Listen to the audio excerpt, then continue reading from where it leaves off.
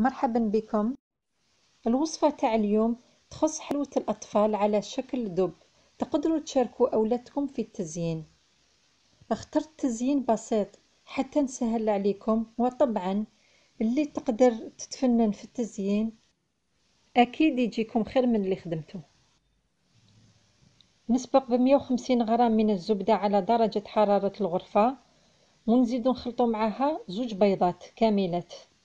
بعد هذا نحط الخميرة الكيميائية والفانيلا وزوج مغارف كبار تاع السكر. نخلط كل المكونات ونلم بالفارينة حتى تولي عندي عجينة طرية. خليو العجينة في الثلاجة على الأقل ساعة باش تنحكم وبعد هذا خدموا بها. أنا ما خليتهاش تريح باش خدمت به فيه ووريت لكم. على هذيك راح تبان لكم طرية. تابعوا معي.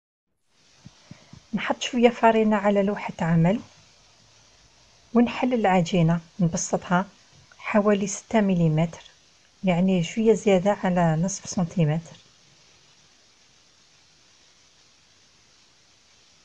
نستعمل هاد الطابع الشكل تاع الدب ونقطع هكذا. الصينية راني حطيت فيها شوية فارينة.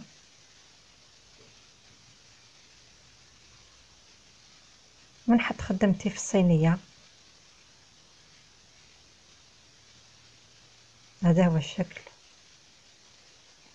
الفرن راني شعلته. نحطها في الفرن حتى طيب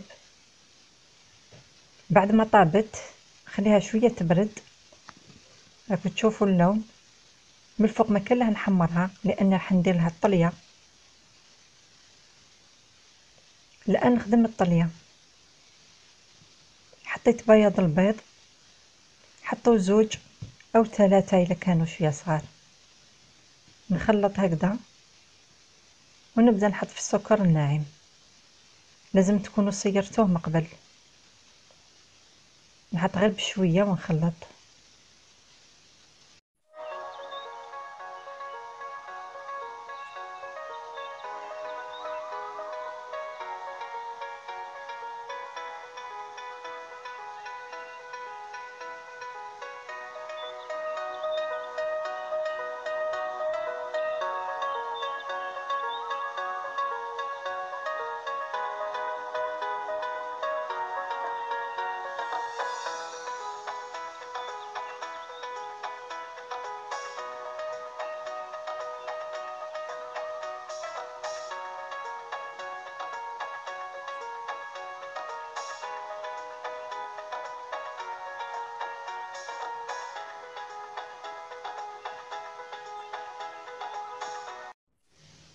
الخليط بدا يعقد نحط الكمية تاع ملعقة كبيرة من عصير الليمون.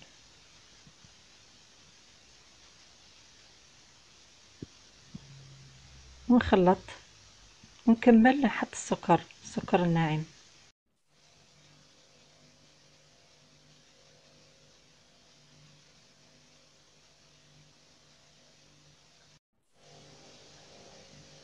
باش نعرف بلي الطلية راهي جاهزة لازم نجرب.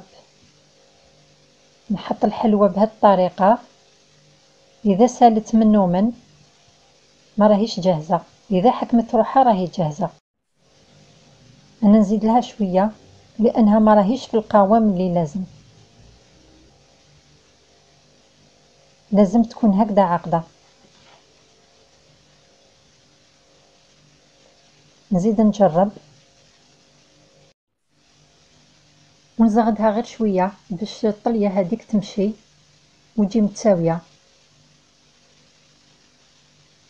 تجي هكذا. بعد ما درت الطلية نخلي الحلوى تنشف ليلة كاملة ونزينها. كملت زينت الدب. اللعبة المفضلة عند الأطفال. درت العينين بالشوكولاتة. والطلية اللي قعدت لي درت فيها شوية كاكاو. وكملت التزيين بهذه الطريقة كما راكم تشوفوا.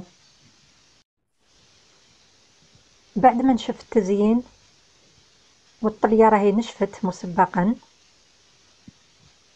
نحي كامل الطلية الزايدة حتى يبان مليح الشكل.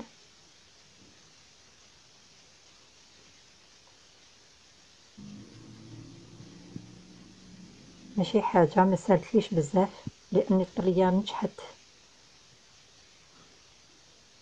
ونحط كل وحدة في كيس مع شوية تاع الحلوى متنوعة.